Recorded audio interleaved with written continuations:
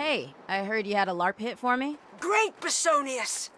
We beseech you to destroy the necromancer that has taken control of the graveyard. Listen close. The necromancer is a traitorous ass. We once shared a raiding party, but when I was attacked and passed into the great beyond, she did not revive me. We were friends. She had the resources to save me, but she let my favorite character die. I shall see to it that she feels the pain of re-rolling.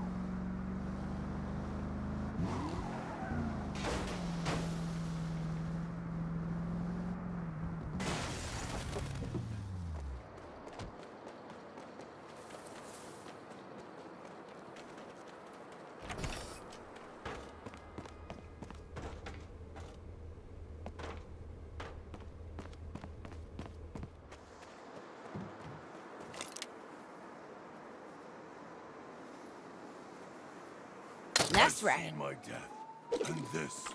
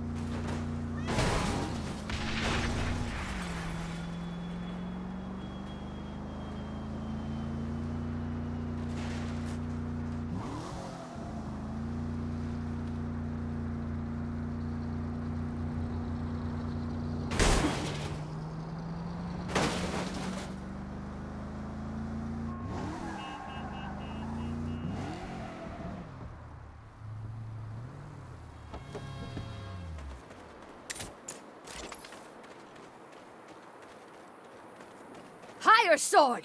How dare you disturb the great necromancer! The hour of your demise is at hand, foul fiend! You shall rue the day you backstabbed your friend! Protect me, thralls! We shall take you down! Die, you backstabbing fuck! Oh! Oh! can't hit what they can't see. Oh!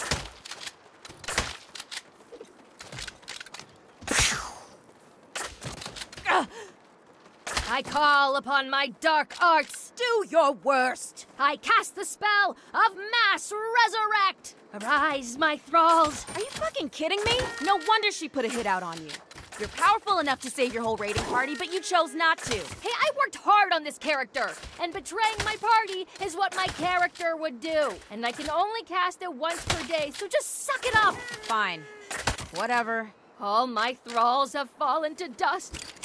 I myself must take arms against the higher sword.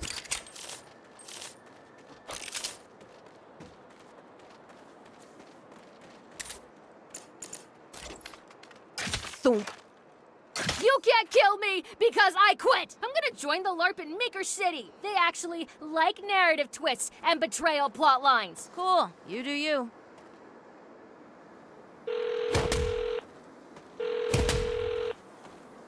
Revenge hath been fulfilled. She's off to join another LARP. Good. The door can't hit her where the gods hath split her.